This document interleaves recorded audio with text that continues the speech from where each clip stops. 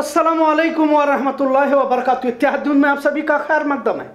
रोज़ाना नई खबर के साथ एक बार फिर आपके सामने फहरिस्त तवील होती जा रही है। हिजाब, झटका, हलाल, अजान के बाद आज नया ऐलान फिरका प्रस्तुत की जानिब से किया गया कि अब फल फ्रूट बाज़ार में जो मुसलमानों की पकड़ है, फल फ्रूट बाज़ार पर जो मुसलमानों की पकड़ है, इसे निशाना बनाते हुए ऐलान किया गया कि मुसलमानों से किसी तरह का फल फ्रूट खरीदा न जाए। खैर, इस तरह का ऐलान पहले भी हो चुका है और खासकर गणेश दिवाली दशहरा। जब भी आता है तो हिंदुत्ववादियों की जानिब से खास ऐलान किया जाता है कि उन ठेलों से ही खरीदा जाए, जिन ठेलों पर भगवा परचम लगाया हुआ होता है। पहले ऐसे ऐलानात पर ज़्यादातर तवज्जो नहीं दी जाती थी, लेकिन अब इसका असर भी देखा जा रहा है। अब मुल्क में लोकतंत्र, जमहूरियत, संविधान कितना मायने रखता है, अलग से बोलने की ज़रूरत नहीं है। धीरे धीरे उठने वाली आवाज़ें भी अब कहीं तो कमज़ोर होती जा रही है। एक और बात का ज़िक्र आज करना ज़रूरी होगा कि पत्रकारिता या सहाफत इस आईन हिंद का चौथा सुतून कहा जाता है। अब क्या चौथा और क्या पांचवा? तमाम सुतून ही इस संविधान के गिरते हुए देखे जा रहे मीडिया का इस तरह का हाल पहले कभी नहीं देखा गया था। अब इस तस्वीर में देख सकते हैं कि स्क्रीन पर रोते हुए अंजना ओम कश्यप और अनुपम खेर वही दूसरी तस्वीर में दोनों ठहाके मार कर हँसते हुए देखे जा सकते किस तरह बेवकूफ़ बनाया जा रहा है, ऐसा इनका शायद कहना होगा। यह तस्वीर कश्मीर फाइल्स पर अपना बयान देने के लिए आज तक के स्टूडियो पहुँचे हुए थे। अनुपम खेर, उसी वक्त इस तरह सच को झूठ और झूठ को सच बनाया जाता है। खैर, जब गोदी मीडिया का वजूद हुआ तो आवाम ने टीवी देखना भी बंद किया। सोशल मीडिया का दौर जारी हुआ। अब तो बड़े से बड़े चैनल भी सोशल मीडिया के सांचे में ढलते जा रहे हैं।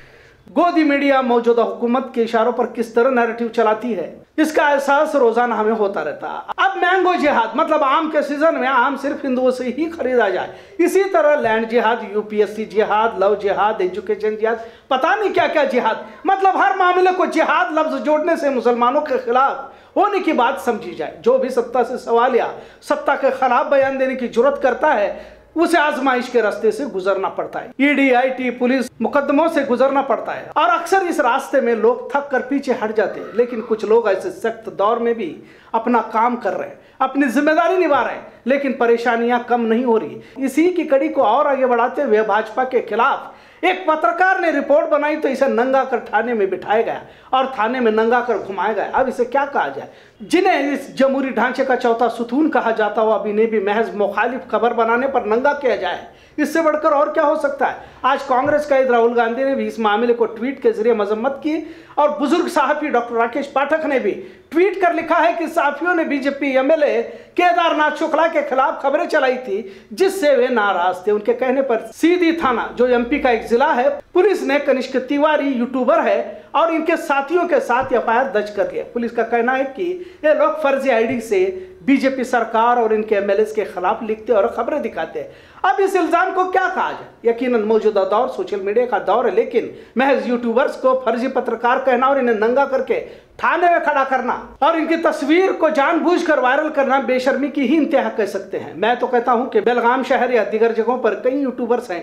इन्हें सहाफियों का दर्जा दिया जाए और इन्हें भी उसी तरह देखा जाए और तमाम तर सहूलतें इन्हें भी फराम की जाए जो एक आम जर्नलिस्ट को, एक सहाफ़ी को दी जाती है। जिस तरह अखबार और बड़े न्यूज़ चैनलों को देखा जाता है, इसी तरह इन्हें भी देखा जाए। खैर, जिस तरह सहाफ़ियों को नंगा किया गया, एक तरह से हुकूमत इकतदार के नशे में सरकार, संविधान के तमाम दायरों को पामाल कर दिया। खासकर अगर भाजपा और इनके नेताओं के खिलाफ सच बोलने वालों को हिरासा किया जाता है। इस तस्वीर में कनिष्ठ तिवारी को देख सकते हैं, जिनके यूट्यूब सब्सक्राइबर सवा लाख से भी ज़्यादा बताए जाते हैं। न्यूज़ नेशन के लिए भी पत्रकारिता करते हैं। पर सत्ता से सवाल करोगे तो इस तरह नंगा किया जाएगा यही पैगाम शायद भाजपा एमएलए केदारनाथ शुक्ला ने मुल्क की सतह पर देने की कोशिश की है।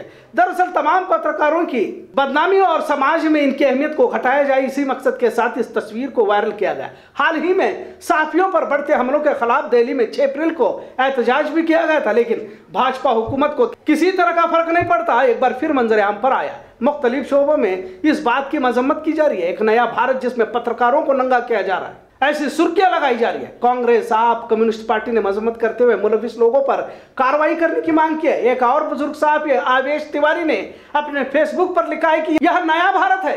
यह लोग जो थाने में अदनंगे होकर खड़े यह सब साहबी यानी पत्रकार है। इनमें सबसे बाएँ खड़े कनिष्ठ तिवारी के यूट्यूब चैनल के सवा लाख सब्सक्राइबर है। अब इन्होंने गलती यह कर दी है कि पहले मध्य प्रदेश की भाजपा सरकार में भाजपा के ही एमएलए केदारनाथ शुक्ला के खिलाफ खबर लिखी थी और अब शुक्ला के कहने पर सीधी पुलिस ने, यानी सीधी पुलिस थाने के अफसर ने कनिष्क और उनके साथियों के खिलाफ एफ़ आई भी दर्ज कर दिया है। जब कनिष्क और उनके साथियों ने पुलिस से पूछा कि हमारा कसूर क्या है तो उनसे कहा गया कि फर्जी आईडी से आप लोग भाजपा सरकार और बीजेपी एमएलए नेताओं के खिलाफ लिखते हैं और बोलते हैं। मतलब इनके खिलाफ बोलना जुर्म है। अब हम सबको नए भारत को समझने की ज़रूरत है। जब पत्रकारों, सहाफियों को ही भाजपा हुकूमत बख्शने को तैयार नहीं तो फिर आम आवाम की क्या मजाल आपको हर हाल में मौजूदा हुकूमत के सामने झुकना होगा। भले ही कितना ही गलत हो, कितना ही जुल्म हो, कितना ही अत्याचार हो, जो भी सत्ता के खिलाफ आवाज़ उठाएगा, उसके कपड़े इसी तरह इंतजामिया के हाथों उतारे जाएँगे। आप खामोशी के साथ इनके तमाम मजालिम पर चुप्पी साधो। या फिर मुसीबत आजमाइश के लिए तैयार रहो। भले ही कितने भी मजालिम ढाए जाए, लेकिन तारीख उसी की लिखी जाती है जो हमेशा ताकतवर सरकार हुकूमतों से टकराता है। जरूरतमंदी को अपने अंदर लाने के लिए वक्त लगता है। हालात सदियों, सालों, महीनों में नहीं बदलते, बल्कि उसे बदला जाता है। जब आप हालत बदलने का फैसला ले लेते हो इसलिए कि ताकतवर जालिम हुकूमतों से टकराने के लिए जिगर की ज़रूरत है और ये जिगर सभी के पास नहीं होता। अल्लाह इकबाल ने कहा, नहीं तेरा नशे मन कसरे सुल्तानी के गुम्बस पर, तू शाही है बसेरा कर पहाड़ों की चट्टानों में। खुदा ने आज तक उस कौम की हालत नहीं बदली, जिस कौम को ना हो, जिसको ख्याल आप अपनी हालत के बदलने का। वैसे हमने पहले भी कहा है कि रोज़ाना एक तमाशा देखने को मिल रहा है। सभी अपने आप को सेक्युलर इल्मी दानिश्वर कहने वाले खामोश बैठे इसे इंतहा नहीं तो और क्या कहा जाए?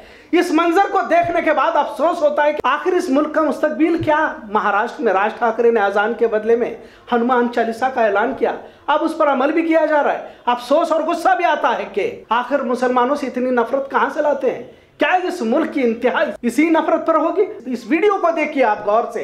अजान जारी है और बाहर भगवा परचम लिए हनुमान चालीसा पढ़ा जा रहा है। वाकई इस तस्वीर ने झंझोड़ कर रख दिया है। अब इसी नफरत के साथ ये मुल्क चलता रहेगा। इसी नफरत के साथ आने वाली नस्ल भी नफरत का ही सबक सीख लेगी। और यही सिखाते रहना। क्या किसी तहजीब याफ्ता माशरे का काम है?